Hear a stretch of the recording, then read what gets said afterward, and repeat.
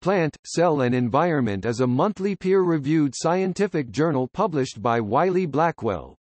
The editor-in-chief is Anna Amtmann University of Glasgow.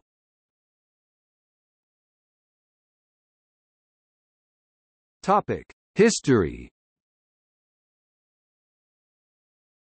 The journal was established in 1978 by editor-in-chief Harry Smith University of Nottingham, together with Paul Gordon Jarvis University of Aberdeen, David Jennings University of Liverpool, John Raven University of Dundee, and Bob Campbell Blackwell Scientific.